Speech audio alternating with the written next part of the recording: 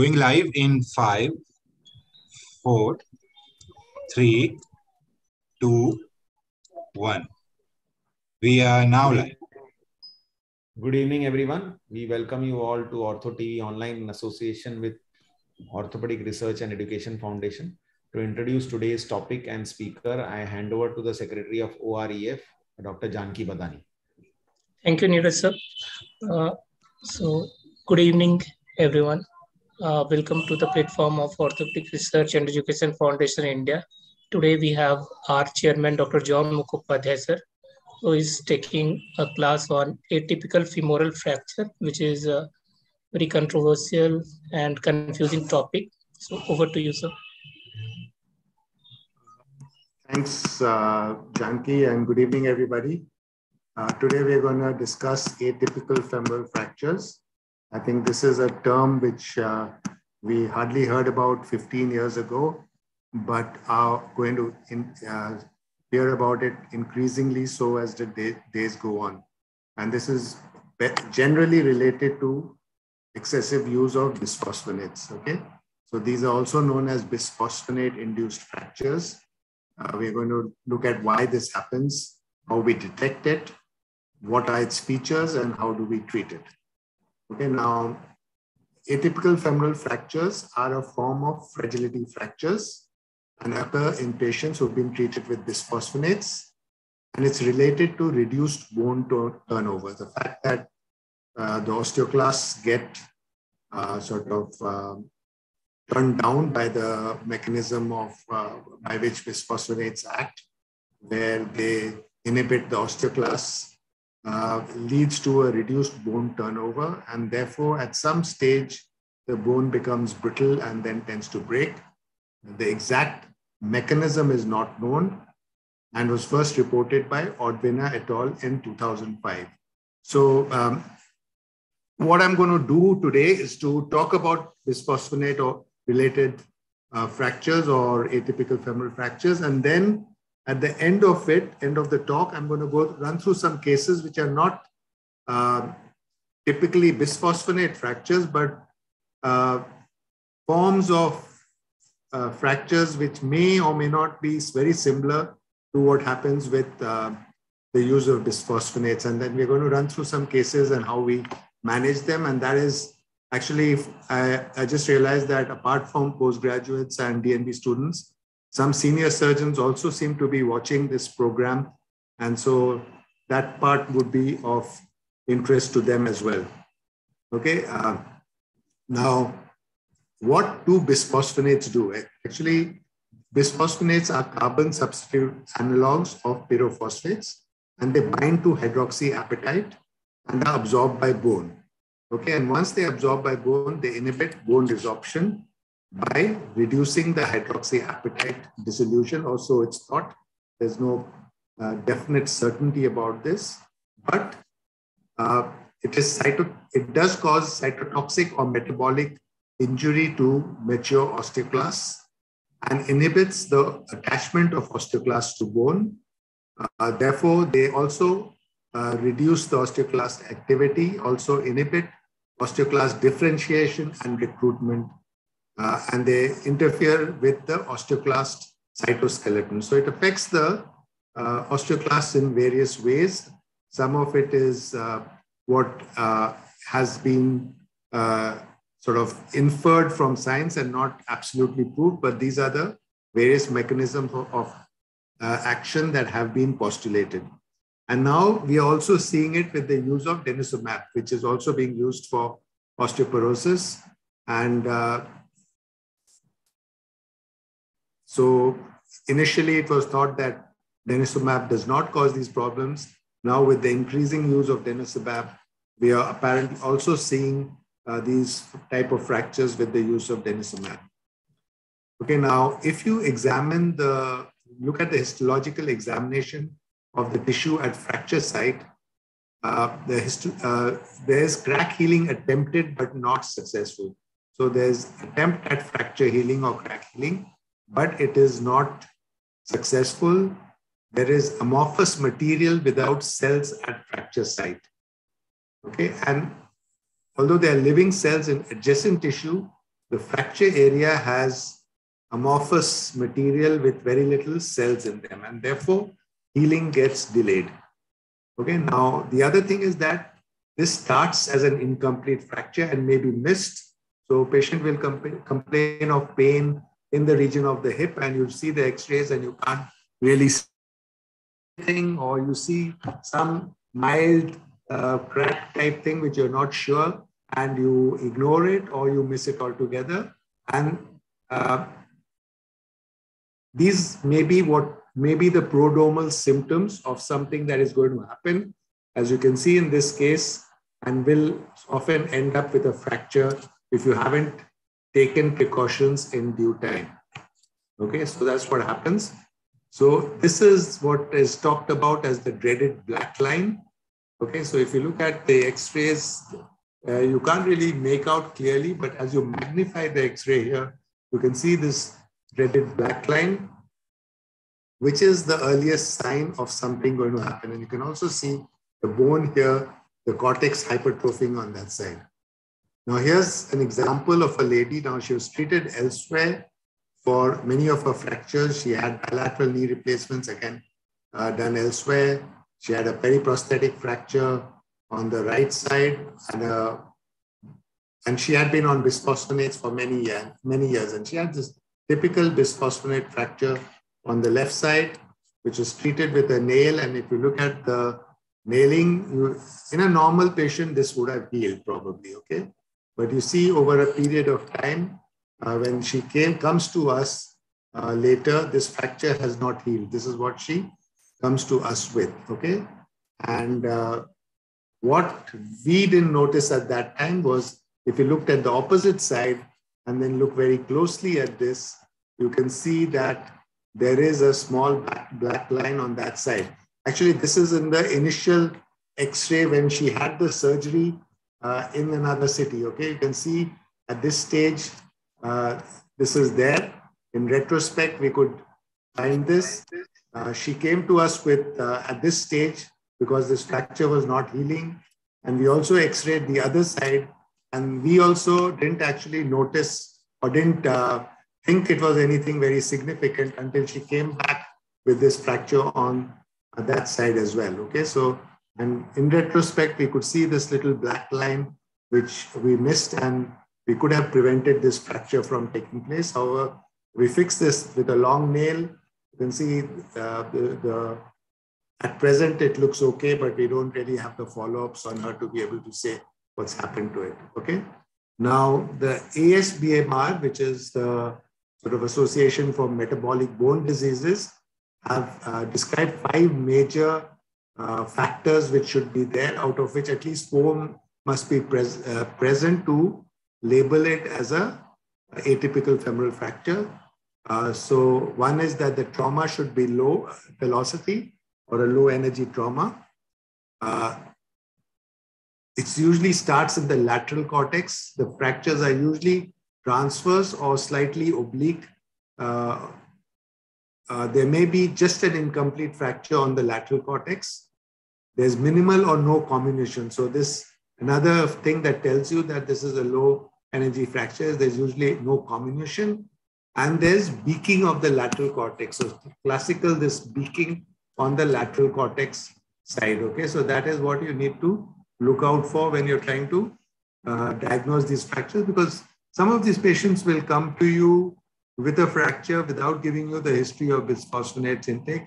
Sometimes we have had patients who do not actually know they've had bisphosphonates. Believe it or not, we recently had a patient where we tried very hard to find out whether she had had bisphosphonates or not. And she kept saying no. And then finally it turned out that she had had bisphosphonates for almost three years before she had come to us uh, with the fracture.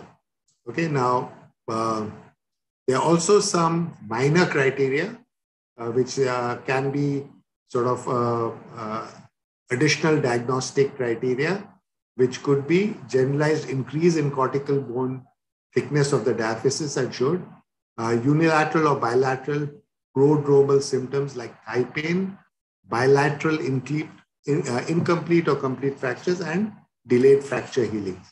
Okay, now, so how do, do we treat it? I think if you diagnose it at the stage where a crack has appeared, then I think it behoves you to nail it before the bone fracture. So the moment you see that there's a doubt that there's a fracture, plus she has prodromal symptoms, then you would go ahead and nail it. Now, if there's nothing on the x-rays, but she's having early prodromal symptoms, I think an MRI can give you some idea by showing you some evidence of a, a, beginning of a crack or a increased uptake in that region. Uh, and uh, so then you have to decide. So you have this option of either nailing it prophylactically or maybe switching, stopping the bisphosphonates, uh, changing to maybe teriparatide and then watching very closely. Because what you don't want is this patient to fracture and then uh, have a displaced subtrochanteric fracture. And as we all know that these bisphosphonate fractures take a long time to heal. So here's a lady who we had we treated uh, uh, recently. You can see uh, she came with pain on the left side, although we see this kind of cystic lesion on the left, right-sided trochanter, but the pain was here. Again, if you look very carefully, you can see this dreaded line here. And she was, uh, I think, uh, a doctor herself or related to a doctor. So she was, uh, when we discussed it, they said, no, please go ahead and nail it. We did that MRI just to try and locate what it looked like on the MRI. And you can see this uh, kind of increased uh, uh, uh, shadows here and some edema, bone edema there. And we went ahead and nailed it. And even when you nail these incomplete fractures, it takes a long time for the prodromal symptoms, that had to disappear. And this is a uh, almost six months post-op. You can see how this is uh, now gone on to heal, and she has no symptoms now. So, as I mentioned, even after prophylactic nail, it can take weeks before the symptoms subside and much longer for this crack to unite. Okay, so for it to completely disappear on the x-rays takes a long while. Okay, now what are the adjunctive treatment? I think you must stop bisphosphonates. I think that's one of the first things you should do if you're suspecting a bisphosphonate related fractures.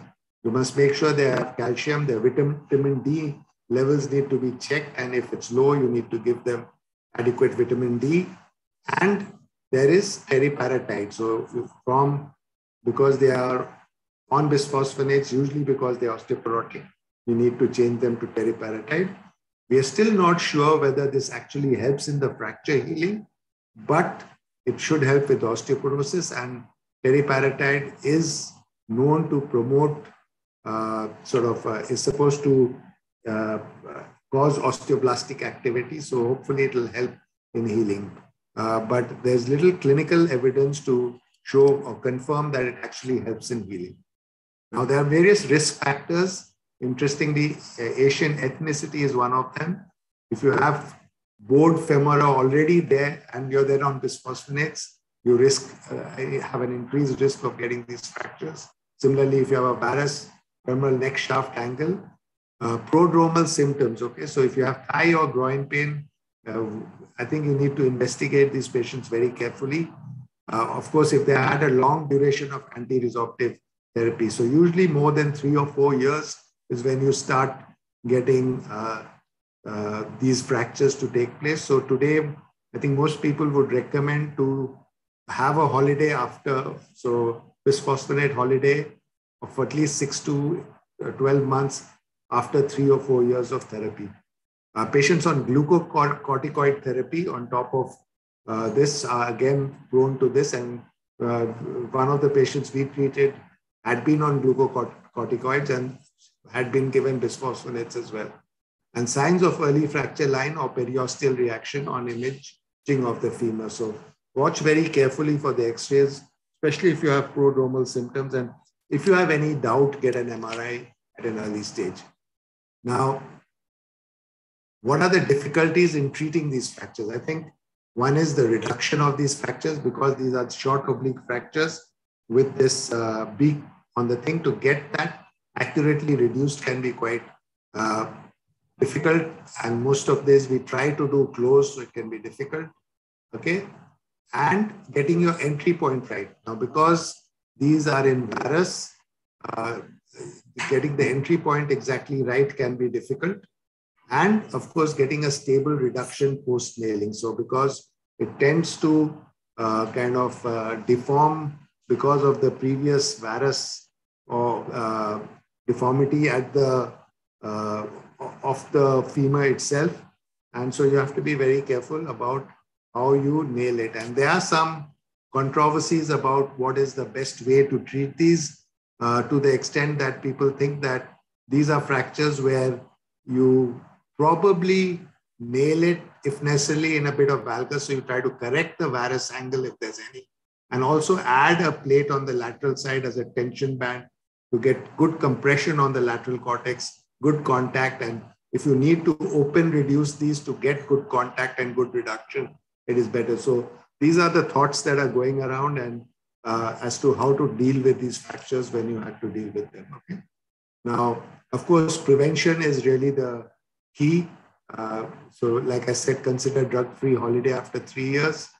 Treat only high-risk groups. That means either they have already got significant osteoporosis or the FRAX scores are high, which suggests that they might go on to have an osteoporotic fracture.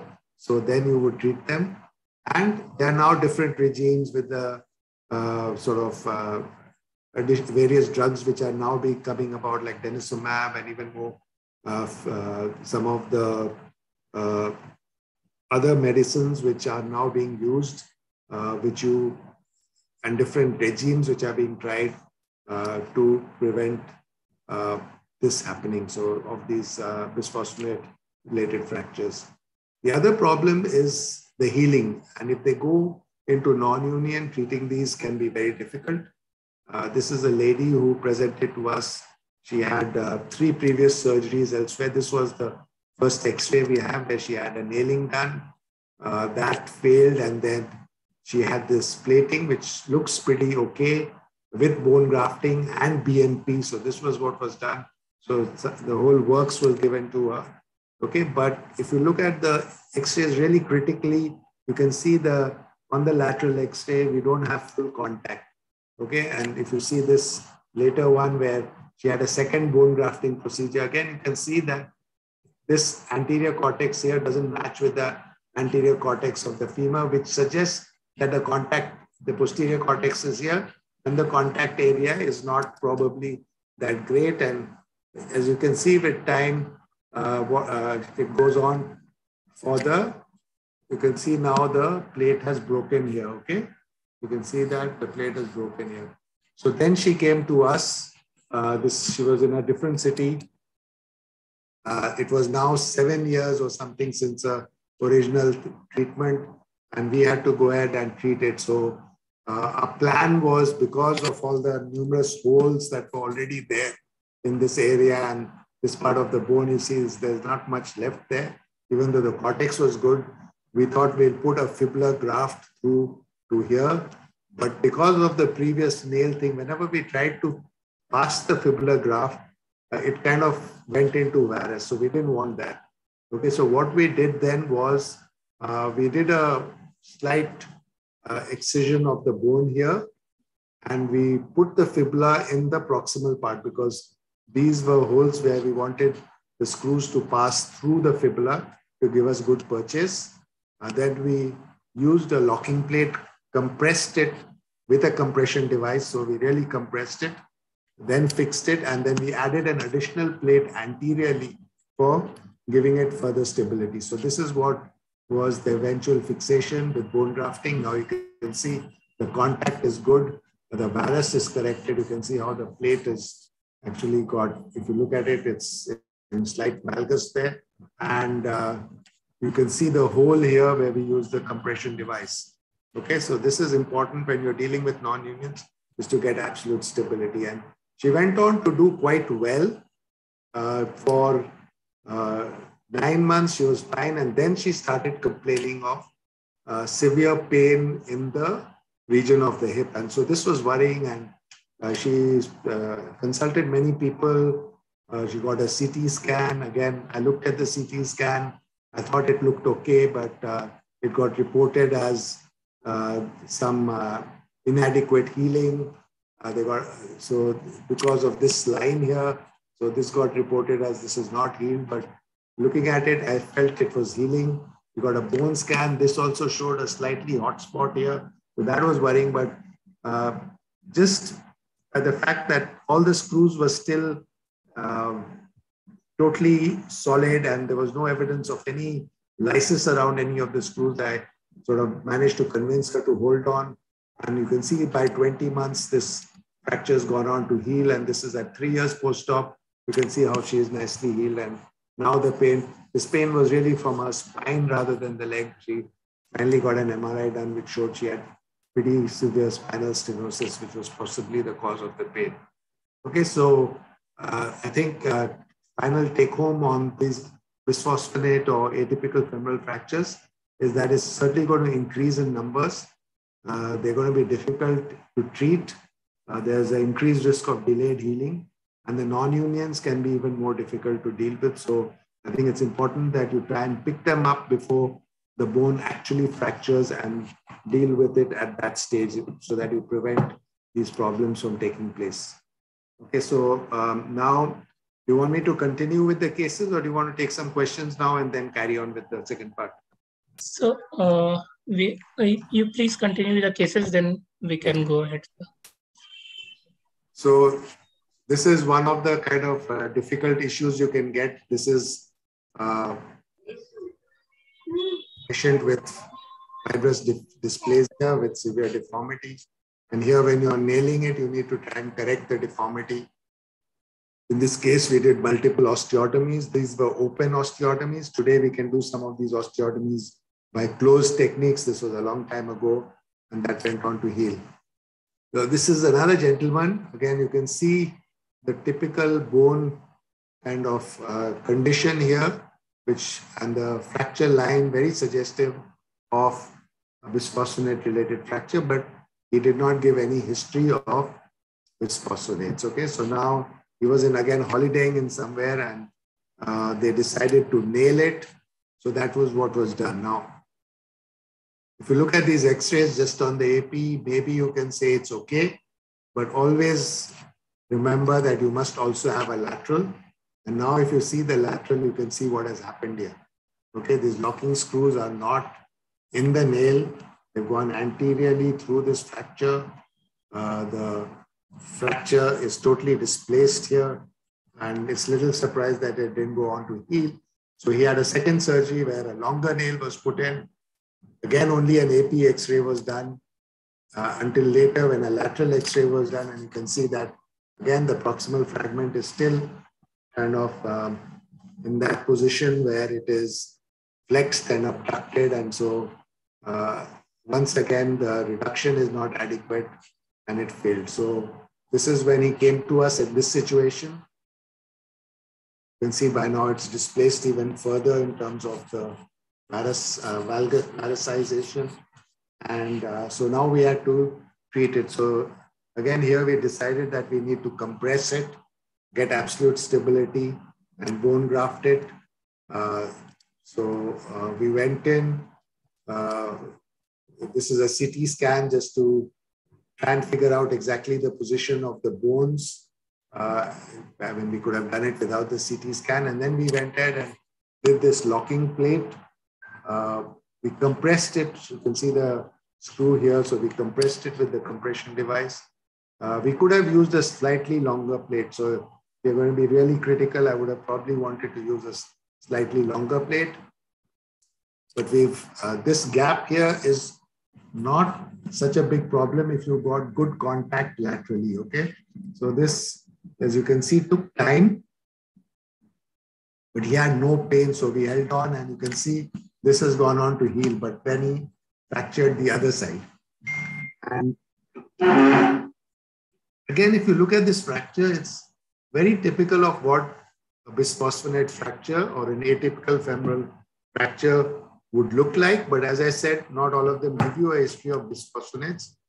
And we decided to plate this and you see how much we had to bend the plate and still we had some lateral opening once we compressed it, okay? But uh, we felt this was a reasonably good position. We are following him up. He's okay, but we still haven't got the uh, X-ray showing full healing. Again, because of the pandemic, he was unable to visit us and show us the situation. Okay. the other situation is osteopetrosis and pycnodysostosis, which are relatively similar. Now, this is a gentleman who had plating for this once before and then went and fractured just above it. So these can be problems. Okay, so you have to uh, first taking these screws out can be difficult. So you need to have all your sets available with you. Luckily, they came out. And then what we did here was again plating with compression. Okay, we use the LCP, which we molded. And one of the advantages of an LCP in a situation like this is that we can use uh, unicortical locking screws, okay? Uh, because uh, this, the bone lateral cortex is so thick that you don't always have to use bicortical screws. So you can see we've just used unicortical screws. We compressed it, so all unicortical screws so that when it comes to taking these out, it will be a bit easier. It's bad enough with uh, locking screws in normal bone. So when you have this kind of osteopetrosis, it's going to be very difficult to take these implants out if you have to, or if they fracture around the implant. Luckily, this went on to heal well, and he did okay. Was uh, had a good clinical result as well. Uh, here's another case with osteopetrosis, again, very severe osteopetrosis. Uh, she had this fracture and came to us about uh, a few weeks after the fracture. Interestingly, she had a neck fracture on the opposite side, which she'd had as a child. And you can see this is not united and this is uh, ridden up altogether here. And uh, but that was not bothering her so much. But after this fracture, she couldn't walk, so we had to treat it. So we went with the same plan. We uh, decided that we're going to compress it, bone graft it with a plate. Uh, again, you have to be careful, have good drill bits and enough drill bits because you might break some of them. Uh, we compressed it. Uh, again, you can see some unicortical locking screws. Uh, now you can see the follow-up over a period of time. That was at two months. This is at seven months. This is at 10 months. 15 months. The fracture line is still there. But again, because the, she had no pain and the screws was still holding, we waited. This is 24 months.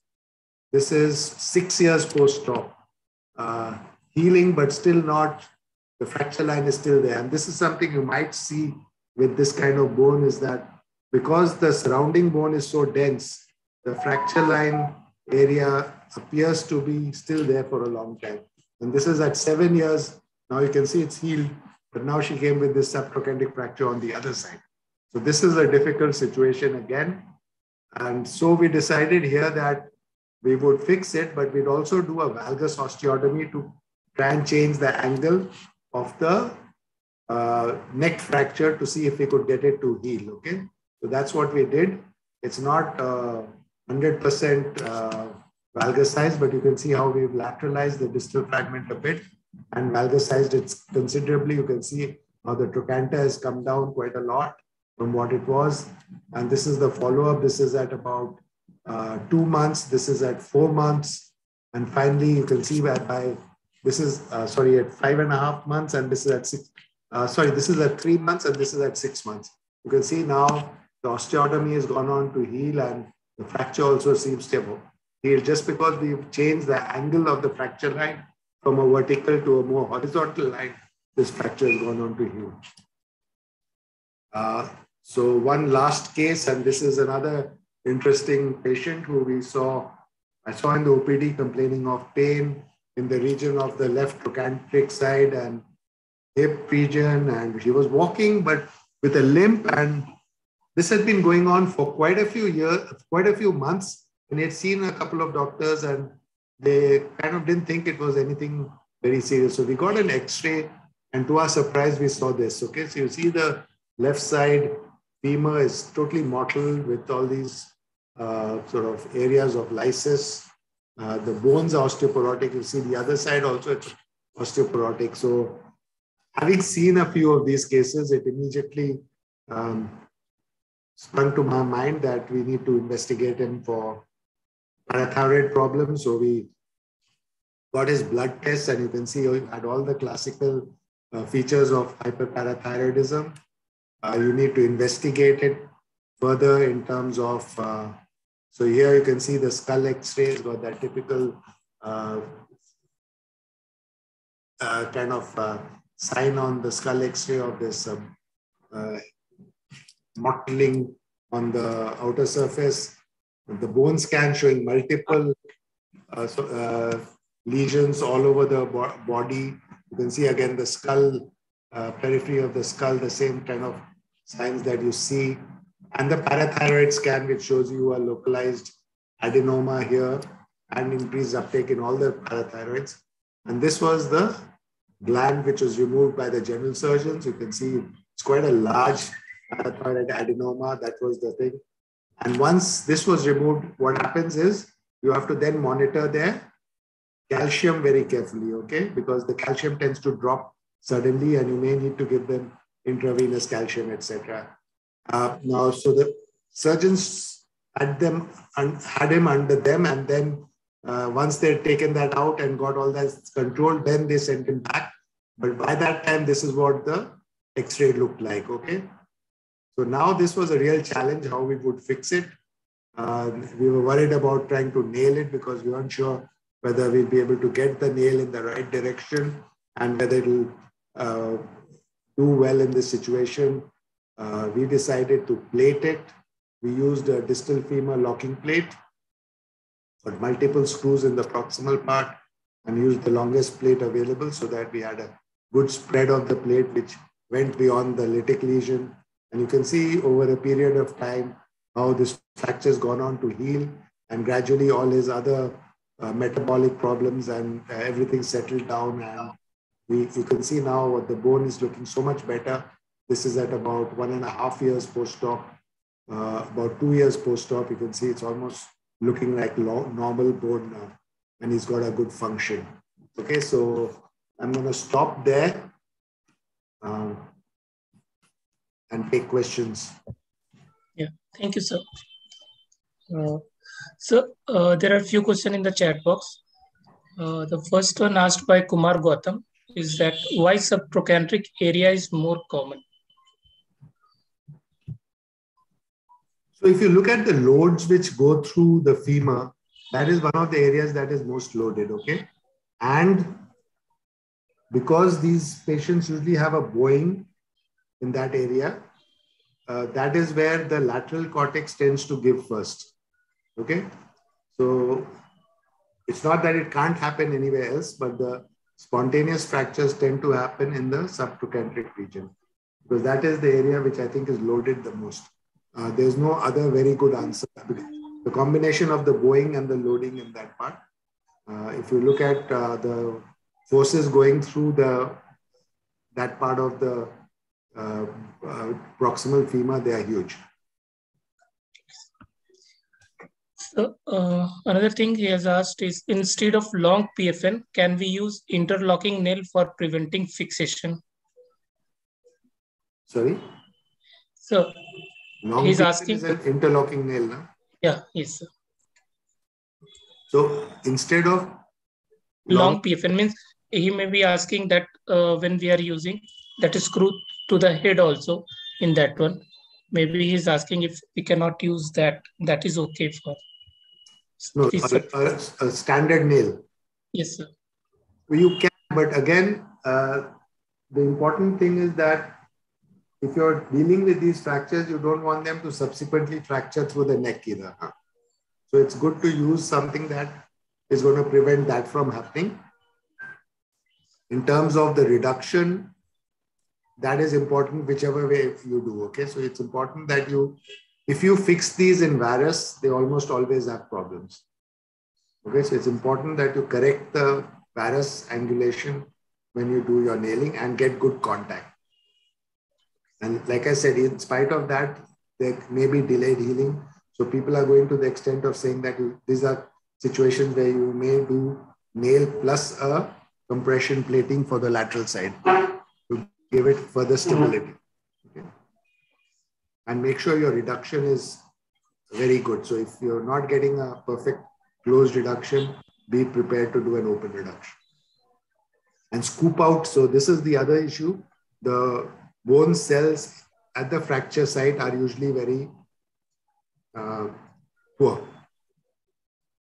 Okay, so if you are opening it, it's suggested that you curette out all that area so that you get down to bleeding, uh, sort of live bone when you do your fixation.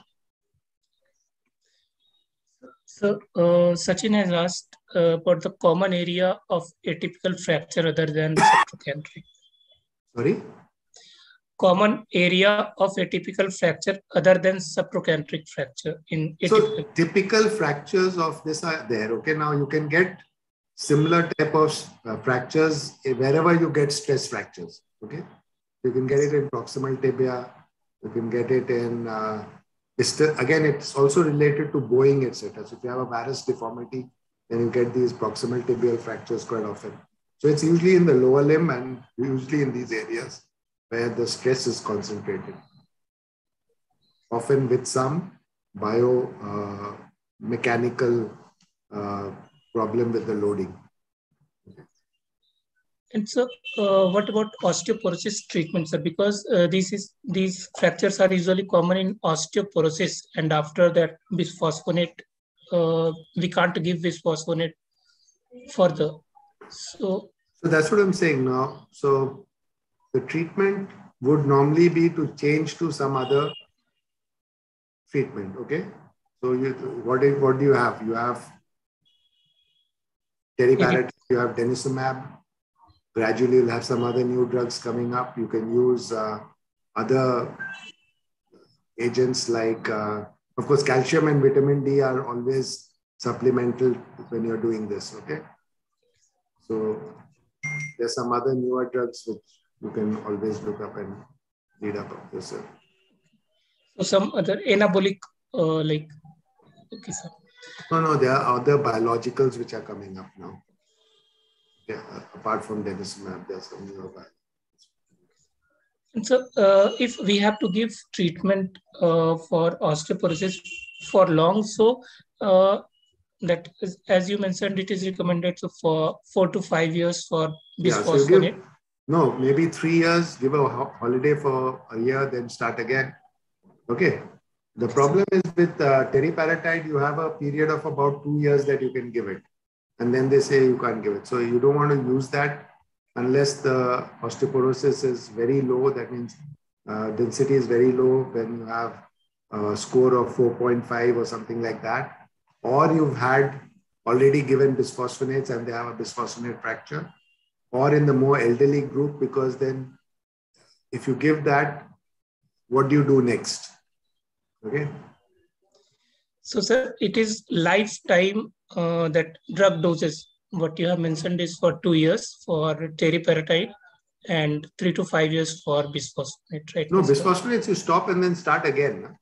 Okay. Sir. Not that you can't so, again. Okay. The second other thing is what is also important for osteoporosis is not to forget is walking. That means weight loading exercises. Okay muscle strengthening, okay, uh, calcium, vitamin D, all these. So it's not one thing, it's all these things which need to be given together. Okay. And so uh, for uh, this teriparatide, uh, do we need drug holiday in between? If it is uh, for two years, then uh, we can no, no, continue. Teriparatide, I don't, I mean, in the sense that it's not yet very clear. Normally, they say that you should not give it again, but I've known people who've had it a second time. But usually, what you do is once you give it for two years, you don't use it again, as far as at present. But things may change. So now you have other alternatives which you'll have to change to, like denosumab, and you can give some of the anabolic steroids for some time, etc. But I think uh, the evidence is lacking. Uh, for bone pain, you can give uh, things like calcitonin, but it doesn't help long term for osteoporosis. Uh, some of the other drugs like vitamin K2, etc., have been tried, boron, etc. But um, in women, you can give SERMs, that is the uh, estrogen mod, uh, modulators, okay, selective estrogen modulators like uh, what do you call it? Um, Hmm. yes. Yeah, it's no longer available. So tamoxifen and things like that. So- Unfortunately, that's no longer available in India. I don't know exactly why, but it's difficult to get in India. But for the perimenopausal patients, that was quite a good drug. Okay, there are other some flavonoids, etc., which there's little evidence about how good they are. But the standard drugs are these three. So, uh, in the literature, it is mentioned uh, about that bisphosphonate-induced atypical fracture. We can give a teriparatide. Is there any risk of a fracture with teriparatide also, sir?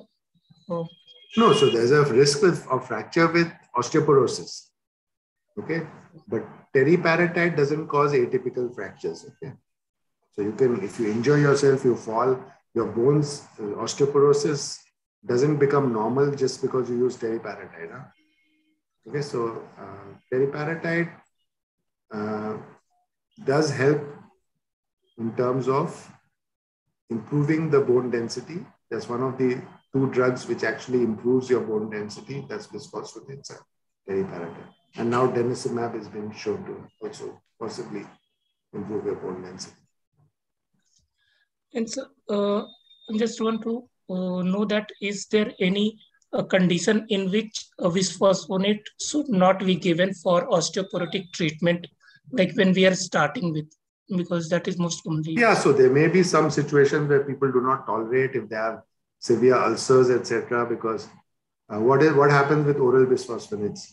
What is the yeah, biggest? that, yeah, that gastric irritation it causes. Uh, if No, it is- the the thing you need to be sure with oral bisphosphonates is what that they don't lie down for 45 minutes half an hour. Yeah. because you don't want it. It's not just gastric; it's esophageal. Okay, they can irritate the esophagus. They even cause rupture of the esophagus. Okay, erosions of the esophagus, ruptures. So that's important. Okay. So So- that and then I think in renal patients you have to be a bit careful about the dosage. So obviously you need to check that. In severe liver problems you have to be careful. So all those standard uh, things with most drugs that you need to watch out for, but no uh, specific this thing except this problem. yeah. So, uh, in the cases you have shown some of the subtrochanteric fracture treated with long PFN, and a few of them is uh, not like uh, it is middle size PFN. So, how to decide the length uh, in those fractures? sir? So I think when you're dealing with a non-union, you're looking for absolute stability. Okay.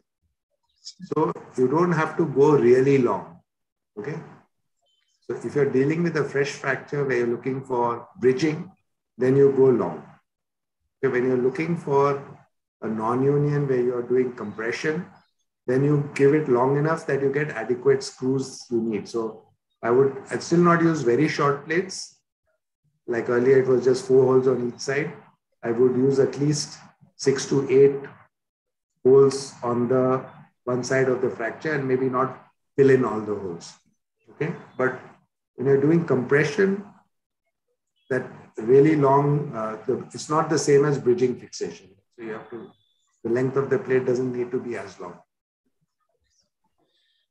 So, uh, when you are uh, treating a non-union following a bisphosphonate fracture or failed fracture, then uh, what consideration we usually take? You have mentioned something like a Muller's that compression device and also other Yeah, so you have to, three things. One is good contact, Yes. correct the any varus valgus alignment. Okay. Uh, freshen the bone ends. You really need to freshen the bone ends before you compress. Okay. Make sure that you've got live bone, and, and because usually the fracture site has dead cells in it. So you need to make sure that live bone is there. And then bone grafted.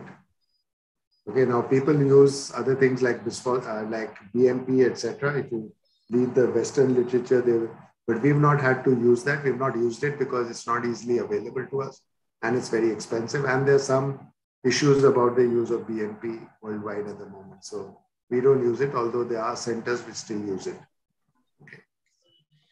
And so in those cases, uh, do uh, we use, uh, we can use that uh, nail also, that PF? Yeah, so that's, so that's what I'm saying. This is the, the thing you have to decide is between a combined nail and plate and just for non-unions because just using a nail in a non-union uh, it will not give you absolute stability okay but for fresh fractures yes but you have to make sure you get your make sure it's not in varus make sure there's good contact and it's well reduced if it's not well reduced it's not going to heal so uh, i have noticed in the literature so a lot of fractures which would heal in normal bone will not heal in the bisphosphonate fracture. So, uh, in the literature, it is uh, usually given with the oral bisphosphonate. Uh, when we are using zoledronic acid uh, as a anti-resorptive therapy, do we have risk of that? Because very uh, poor literature I have got. The, I'm not sure about that. So you said what you said. Yeah. The literature doesn't have too much evidence of that, but uh, if you're going to give it for seven years, then you're so the most of the bisphosphonate fractures first started getting reported after about six, seven years of alendronate treatment. So, uh, Okay, so I think uh, most of the thing we have covered, sir. And, sure. Uh, yeah, thank you, sir. Yes. Thank you, sir. It's okay. we still thank have. You, bye. Yeah. yeah. thank you so much. Sure.